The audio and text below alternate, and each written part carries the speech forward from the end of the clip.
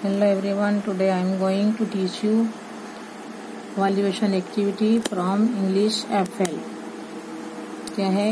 ये valuation activity है जो इंग्लिश एफएल से मैं बता रही हूँ। अब मैंने पिछली वीडियो में आपको बताया था एक्टिविटी फोर में अरेंज करने का है जो स्टोरी से लिया गया है। Mister rabbit plays a prank जो लेसन है स्टोरी है उसमें से जो सीक्वेंस दिए गए हैं, उसको क्या है? हमें करेक्ट करना है। तो ये सेंटेंस क्या है? अरेंज करके लिखना है। I read once again arrange the sentence is in the correct sequence of the story मैं फिर से सेंटेंस को रीड करती हूँ। उसके बाद हम क्या करेंगे? सेंटेंस को बराबर अरेंज करके स्टोरी कंप्लीट करेंगे। Mister rabbit asked for help from mister elephant and mister whale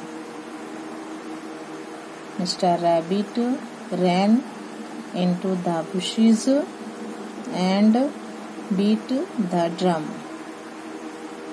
Mr. Rabbit tied another end of the rope round Mr. Elephant's trunk.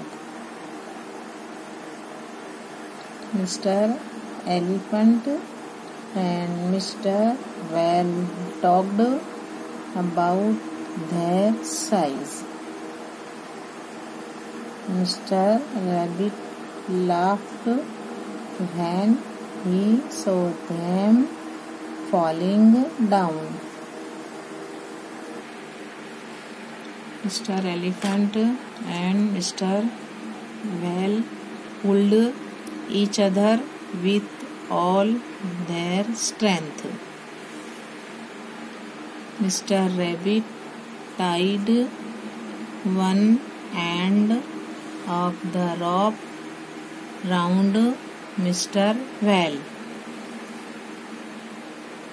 Mr. Elephant fell over backwards and Mr. Whale turned over in the air अभी जो sentence आड़े जो दिए गए हैं उधर सीधे हैं, जो स्टोरी के जो सीक्वेंस के वो नहीं है। तो सीक्वेंस इस स्टोरी जो दी गई करेक्ट नहीं है, वो सीक्वेंस तो हमें क्या सेंटेंस को क्या करने का है? अरेंज करने का है। जो इसमें से फ़र्स्ट सेंटेंस कौन सा आएगा, वो हम यहाँ पर अरेंज करके लिखेंगे। यार आंसर दिए हैं। नंबर वन में है, पहला आएगा mister elephant and mister whale. पहले वो दोनों क्या करते हैं? दोनों मिलते हैं तो दोनों आपस में बातें करते हैं। वो बोलता है कि लैंड पर क्या है? मिस्टर एलिफेंट को कि तुम लैंड पे, तुम बिगेस्ट हो क्रीचर ऑन द लैंड हो और आम और मैं हूँ तो वो सी में, वो वाटर में जो है वो सबसे बड़ा क्रीचर है इन द तो मैं समंदर का बड़ा एनिमल हूँ, आप तो हैं जो ज़मीन के बड़े एनिमल हैं। तो दोनों आपस में ये सब बातें करते हैं तो ये सब सुनता है मिस्टर रैबिट और दोनों का जो घमंड घमंड को कैसे वो चूर करता है, मैंने आपको बता दिया स्टोरी में। तो फ़र्स्ट सेंटेंस आएगा कि भाई mister elephant and mister whale talked बातें कर रहे थे अबाउट देयर साइज़ कहाँ पर? अबाउट देयर साइज़ इसमें यहाँ पर जो फोर्थ नंबर का सेंटेंस है, वो फ़र्स्ट में आएगा। Mister elephant and mister whale talked दोनों बातें कर रहे थे अबाउट दैट साइज़ ये जो है ये फ़र्स्ट सेंटेंस आएगा स्टार्टिंग यहाँ से होती है स्टोरी की। Mister elephant and mister whale talked about their size number two mister rabbit ask for help from mister elephant and mister whale. जो फ़र्स्ट नंबर का है, वो सेंटेंस सेकंड में आएगा। वो फिर मिस्टर रेबिट पूछता है कि भाई मुझे मेरी हेल्प करोगे? दोनों को पूछता है। मिस्टर एलिफेंट और मिस्टर वेल को पूछता है कि मेरी मदद करोगे तुम? तो आस्क्ड जो नंबर वन का सेंटेंस है, वो सेकंड में आएगा। Number two mister rabbit asked for help from mister elephant and mister whale. जो सेकंड नंबर फ़र्स्ट का था वो सेकंड में आया है। और जो फोर्थ नंबर में जो सेंटेंस था वो फ़र्स्ट में आया है। अब नंबर थ्री में है। मिस उसके बाद क्या होता है? मिस्टर रेबिड बांधता है टाइड यानी बांधता है। वन एंड जो एक, एक जो रस्सी का एक छेड़ा होता है वो किसको बांधता है? मिस्टर वेल को बांधता है। तो क्या है यहाँ पर? यह है कि भाई क्या मिस्टर जो रेबिट है? टाइड क्या लिखा हुआ है? मिस्टर रेबिट टाइड जो सेवन नंबर का दिया हुआ है, वो क्या आएगा वो? फोर्थ नंबर में थर्ड नंबर में आएगा। Mister rabbit tied one end of the rope round mister whale mister whale's के जो होते हैं, उसके बॉडी से बांधता है। तो mister rabbit tied one end of the rope round mister whale. ये इसमें यहाँ पर आएगा, सेवेंथ नंबर का जो सेंटेंस है वो थर्ड में आएगा। Number four, mister rabbit, tied another. देखो, एक एंड तो उसको मिस्टर वेल से बांधता है। अब दूसरा छेड़ा जो होता है रॉप का, वो रस्सी का किसको बांधेगा? वो मिस्टर एलिफेंट के टंग से। तो ये सेंटेंस कहाँ दिया हुआ है? ये सेंटेंस नंबर थर्ड में दिया थर्ड में दिया हुआ है। वो आएगा फोर्थ में। Mister Rabbit tied another end of the rope round mister elephant's trunk. किससे बांधा हो? एलिफेंट की। उसकी जो सूंड होती है उससे बांधा। Mister rabbit tied another end of the rope round mister elephant's trunk. एक छड़ा उसने वेल को बांधा और एक छड़ा के जो होता वो मिस्टर एलिफेंट की ट्रंक से बांधा। Number five.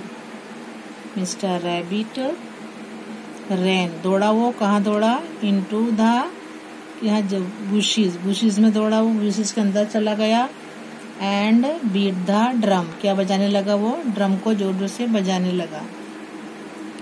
मिस्टर रेबिट क्या है? रैन। मिस्टर रेबिट जो सेकेंड नंबर में है, वो फिफ्थ में आएगा। Mister rabbit ran into the bushes झाड़ियों में जाकर क्या गया, वो भाग, भागा, झाड़ियों के अंदर भागा एंड बीट द ड्रम और क्या करने लगा वो? ड्रम बजाने लगा। तो फिफ्थ नंबर में आएगा mister rabbit ran into the bushes and beat the drum number six mister elephant, उसके बाद क्या होता है? Mister elephant and mister whale pulled each other. वो क्या खींचने लगे एक दूसरे को? तो मिस्टर एलिफेंट और मिस्टर क्या है? वो क्या करने लगे? ज़ोर ज़ोर से एक दूसरे को खींचने लगे।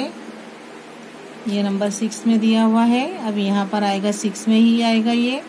Mister elephant and mister whale pulled एक दूसरे को खींचने लगे ताकत से each other with all their strength जितनी उनकी ताकत थी, वो एक दूसरे को उससे खींचने लग गए। तो नंबर सिक्स में है, mister elephant and mister whale pulled each other with all their strength ताकत, उनकी जितनी ताकत थी, उतनी ताकत से दोनों एक दूसरे को खींचने लगे। ये नंबर सिक्स में आएगा। नंबर अब आएगा number seven, mister elephant fell. Over, कहाँ गिरा वो? बैकवर्ड्स कहाँ पर गिरा? मिस्टर एलिफेंट कहाँ पर गिरा? Backwards fell over backwards and mister whale, अब जो लास्ट नंबर का जो सेंटेंस है, वो किसमें आएगा? जो एट नंबर का है, वो आएगा नंबर सेवन में। Mister elephant fell over backwards and mister whale कहाँ गिरा वो? Turned over in the air in आएगा number seven mister elephant fell over backwards and mister whale turned over in the air now last sentence mister rabbit क्या है? वो दोनों को एक दूसरे से गिर गिर देखता, देखा उसने। एक इधर गिरता है, एक उधर गिर गया, उनकी हड्डी हड्डी पसली टूट गई। तो क्या है? खूब ज़ोर ज़ोर से हंसा वो। और लास्ट में वो बहुत हंसता है, देख देख के उनकी दोनों की हालत। तो एट में क्या आएगा? लास्ट नंबर में mister rabbit laughed when he saw them falling down जब उनको गिरते देखकर मिस्टर रेबिट बहुत हंसा बहुत हंसा हमको देख देख के हंसता ही रहा तो ये क्या आएगा लास्ट सेंटेंस आएगा जो एट नंबर में है कि मिस्टर रैबिट लाफ्ड हंसा। वैन ही सो उसने देखा सो धैम फॉलिंग डाउन अब मैं एक बार फिर से रीड करती हूँ। आंसर पहले नंबर में आएगा।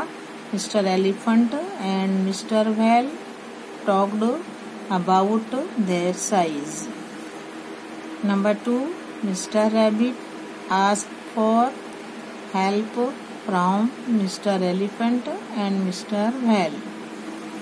Number 3 Mr. Rabbit tied one end of the rope round Mr. Whale. Number 4 Mr. Rabbit tied another end of the rope round Mr. Elephant's trunk. Number 5. Mr. Rabbit ran into the bushes and beat the drum. Number 6. Mr. Elephant and Mr. Whale pulled each other with all their strength. Number 7. Mr. Elephant fell over. Elephant fell over backwards and Mr. Whale turned over in the air. Now last at number sentence number 8. Mr. Rabbit laughed when he saw them falling down. यह activity number five दी बताई गई है यहाँ हम activity five पर आएँगे ना आंसर दी। फॉलोइंग क्वेश्चन अब आंसर लिखने के हैं। क्वेश्चंस के, यहाँ क्वेश्चन दिए हैं। ये क्वेश्चन दिया गया है स्विमिंग लेसन से। जो है पोएम है तो नंबर वन है which season is the boy talking about जो बॉय है, वो कौन सी सीज़न के बारे में बता रहा है? तो क्या है? बात करता है जो बॉय है, वो किस, कौन सी सीज़न की बात करता है? Number one which season is the boy talking about answer लिखेंगे द बॉय इज़ टॉकिंग क्या लिखेंगे यहाँ से? The boy is talking about the summer season the boy is talking about the summer season इसके अबाउट बातें करता है वो? The boy is talking about the summer season अब ये लर्न करने का है हमको अच्छी तरह से कि भाई the boy is talking about the summer season क्योंकि समर सीज़न में ही स्विमिंग करने मज़ा आता है, पानी ठंडा ठंडा होता है, बहुत गर्मी होती है तो क्या है स्विमिंग करने बहुत मज़ा आता है। ये लेसन दिया इसका नाम ही स्विमिंग है, ये जो पोयम है उसका, और ये सीज़न कौन सी सीज़न की बातें करता है, वो है, जो लड़का है, वो समर सीज़न अबाउट बोलता है, क्योंकि उसे तैरने में बहुत मज़ा आता है स्विमिंग करने में ठंडे ठंडे पानी में। तो the boy is talking about the summer season number the boy is talking about the summer season Now question number two. WHAT what is the boy's daily activity? अभी जो लड़का है, उसकी रोज की एक्टिविटी क्या है? तो हमें बताना है, लिखना है। क्वेश्चन नंबर टू है what is the boy's daily activity क्या है? What is the boy's daily activity answer लिखेंगे, the boy's daily activity is swimming. क्या है बॉय की daily activity? The boy's daily activity is swimming. अब वो क्या है, जो डेली जाता है स्विमिंग करने, क्योंकि बड़ा मज़ा आता है, पानी ठंडा ठंडा होता है, गर्मी बहुत पड़ती है तो गर्मी में ठंडे पानी में नहाने में मज़ा आता है ना? ऐसा स्विमिंग करने में लड़के को बहुत मज़ा आता है। तो वो किसके बारे में, रोज की डेली एक्टिविटी क्या है, रोज उसको वो कहाँ जाता है, वो स्विमिंग पूल में जाता है स्विमिंग करने जाता है। तो what is the boy's daily activity तो हम लिखेंगे द बॉयज़ या फ़र्स्ट ऑफ़िस क्या बताता है, कि काके, यानी उसकी जो बॉय है, उसकी डेली एक्टिविटी क्या है बॉय की, लड़के की। तो हम लिखेंगे द बॉयज़ लड़के की डेली एक्टिविटी क्या है स्विमिंग है। The boy's daily activity is swimming क्या है? स्विमिंग है। Number three what does the boy do while swimming जो लड़का है, वो स्विमिंग दरमियान क्या क्या करता है? What does the boy do while swimming क्या करता है वो स्विमिंग करने में? क्या क्या बातें क्या क्या करता है? What does the boy do while swimming answer लिखेंगे while swimming the boy dives dive मल लगाता है। वाइल स्विमिंग स्विमिंग जो करता है इसके दरमियान, वो बॉय क्या करता है? द बॉय डाइव्स प्लॉट्स तैरता है स्प्लैशेस करता है, छपछपिया करता है प्लंजिस करता है लाप्स करता, हंसता भी है एंड चिल्लाता भी है। While swimming the boy dives floats splashes plunges laughs and shouts while swimming में एक एक वर्ड बता रही हूँ, आपको अच्छी तरह से इसको रीड करके लर्न करना है और अच्छी तरह रीडिंग सीखना है। W H I L E while swimming the boy dives floats splashes plunges laughs and shouts तो ये क्या करता है? स्विमिंग दरमियान ये सब बातें बॉय करता है। नंबर फोर हाउ डस कैसे? He feel when his father asked him to stop swimming. जब उसके फादर बोलते हैं, भाई, अब तैरना बंद करो। तब उसके जो फील होता है, चेहरा उसका जो होता है, उसके जो अंदर की फीलिंग्स है, वो कैसी, क्या बताती है? उसका चेहरा कैसा हो जाता है? तो हाउ डज ही फील वो कैसा महसूस करता है? वैन हिज फादर जब उसके फादर फादर आस्क ही उसको बोलते हैं टू स्टॉप स्विमिंग अब स्टॉप करो स्विमिंग को तैरना बंद करो। तो वो लड़के क्या फील करता है, उसको क्या महसूस होता है? नंबर फोर है how does he feel when his father ask him to stop swimming answer when यहाँ से स्टार्ट करेंगे।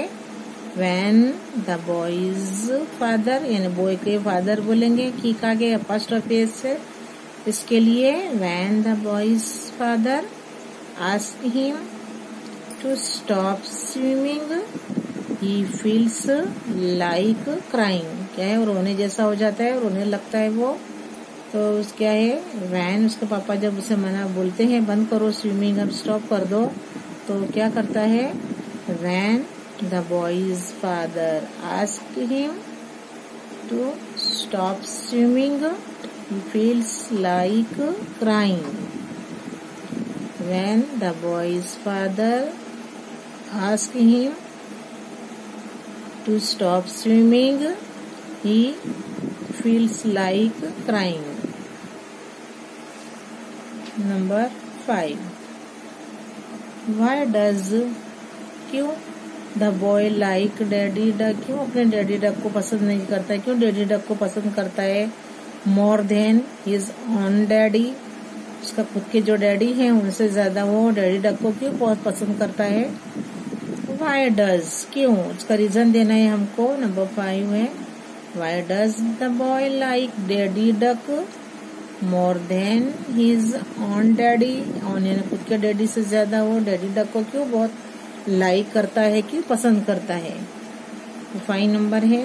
Why does the boy like daddy duck more than his own daddy. Answer, the boy likes does है। हम इसके लिए verbs के आगे S लगाएँगे। The boy likes daddy duck more than is own daddy. Because क्योंकि daddy duck lets his children. जाने, उसके जो बच्चे हैं डेडी डक के, वो अपने बच्चों को जाने देता है, कहाँ पर स्विम करने as long as they like जहाँ तक उन्हें अच्छा लगता है, वहाँ तक उन्हें तैरने के लिए परमिशन देता है बट उसके जो बॉय के फादर हैं, उसे वापस बुला लेते हैं, आगे तैरने नहीं देते हैं तो वो क्या करता है, अपने जो अपने जो फादर हैं डैडी हैं, उससे ज़्यादा वो डैडी डक के फादर को लाइक करता है। ऐसे लिखेंगे the boy likes daddy duck more than his own daddy because daddy duck lets his children swim as long as they like